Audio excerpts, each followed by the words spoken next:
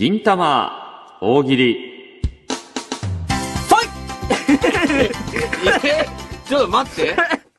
さい絶対大丈夫だと思ってた人がいきなり サイって言ったよ。さあとはいが混ざってる本気で言ったでしょ、今。えー、さあとはい混ぜて、もう。サバンナ的な雰囲気をね、出していこうかと思って。なんでサバンナ出すの？もう、ダメ、やめて、このラジオ。はい、ということで、うんここからは、ゲストの鈴村さんと、よいしょ。